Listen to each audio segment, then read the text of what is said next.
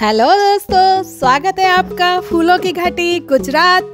आज मैं आपको कहाँ लेके चल रही हूँ? फूलों की घाटी यानी valley of flower Gujarat. Statue of unity के ठीक सामने ये फ्लावर वैली बनी हुई है, जो 250 एकड़ जगह में फैली हुई है। यहाँ पर आने के लिए आपको बस का सहारा लेना होगा। उसके बाद आप साइकिल से के थ्रू भी यहाँ अंदर विज़िट कर सकते हो। या फिर हम लोग, हम लोगों ने पैदल ही अंदर विज़िट किया। तो आइए चलिए वहाँ का यहाँ का नज़ारा देखते हैं कितना ब्यूटीफुल लगता है यहाँ।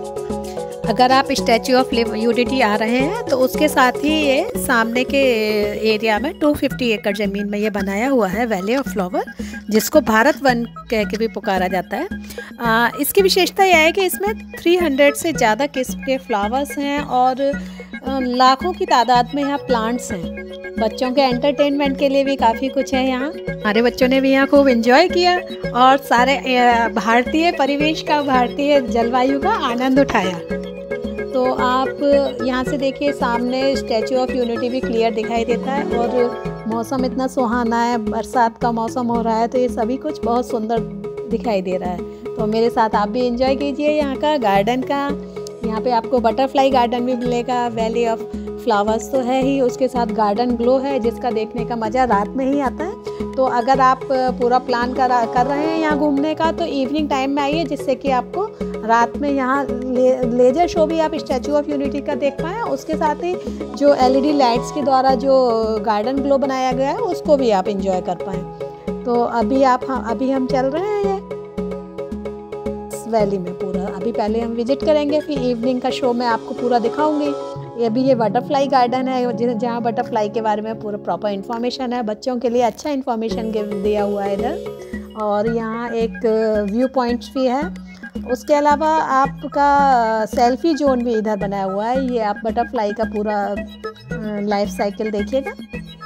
बच्चों के लिए अच्छी जानकारी है।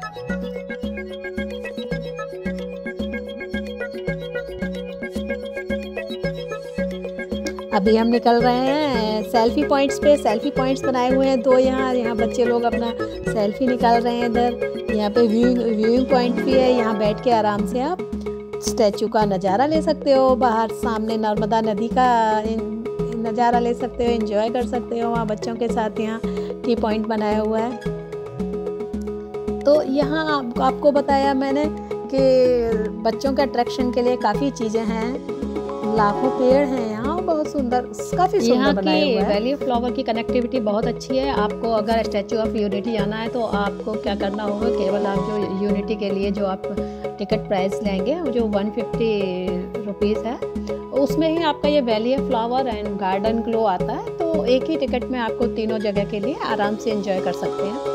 यहाँ कनेक्टिविटी भी अच्छी है बाई बस भी आपको जा आ जा सकते हो बाई ट्रेन भी Mumbai Delhi western railway train train है उसके थ्रू भी आप आ सकते हो।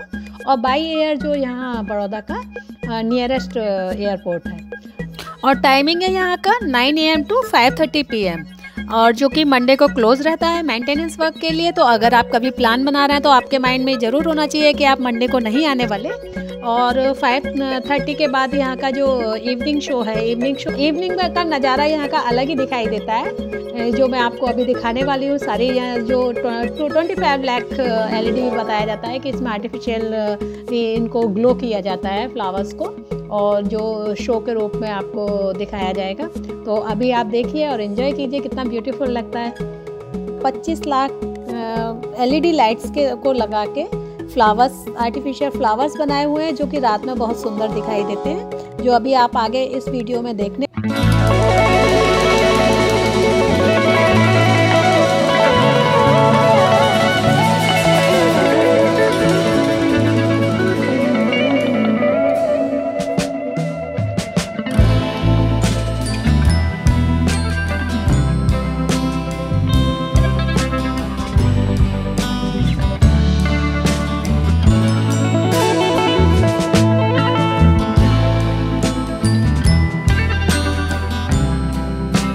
पिंक स्कूटर का सहारा लेना होता होगा, जो कि मोदी जी की एक अलग परियोजना है, जहाँ, यहाँ की आदिवासी महिलाओं को, लड़कियों को रोज़गार देने के लिए इन्होंने बहुत अच्छा कदम उठाया है।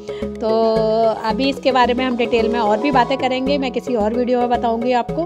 अभी हम जाने वाले हैं सरदार सरोवर डैम, जहाँ के लिए हमको थोड़ा सा पैदल चढ़ना होगा। मीन्स, थोड़ा सा ऊंचाई पर है, जो टनल बनाया हुआ है, उसके ऊपर ये आपको व्यू पॉइंट बनाया हुआ है, जहाँ पर हम अभी देखने वाले हैं।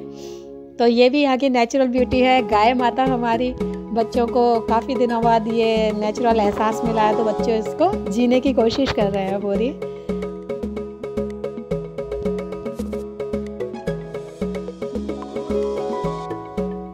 और ये पहुँच गए हम व्यू पॉइंट पे, जहाँ थोड़ा सा पैदल डिस्टेंस है 10-15 मिनट के आपको पैदल डिस्टेंस कवर करना होगा, केवल थोड़ा सा चढ़ना होता है और व्यू पॉइंट पर ऊपर जाके पूरा सरदार सरोवर डैम दिखाई दे रहा है हमको इधर से।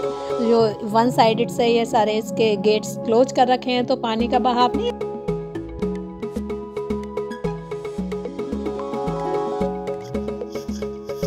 ये व्यू पॉइंट को ही एक कवर एरिया दिया हुआ है। यहाँ भी आप खड़े होकर सरदार सरोवर डैम का पूरा नज़ारा ले सकते हो। और अभी हम बस जाने वाले हैं। हमारी यात्रा ये समाप्त हो गई। हम वापस लौट रहे हैं। अद्भुत नज़ारा लगा। आप भी ज़रूर आइए इधर घूमने। इसके बाद में जंगल सफारी भी हम लोग जाएँगे तो उसका भी वीडियो मैं आपको डालने वाली हूँ। तो मेरी ये सरदार सरोवर डैम और फूलों की घाटी की यात्रा समाप्त होती है। मेरे और नए वीडियो का इंतज़ार कीजिए फ्रेंड बाय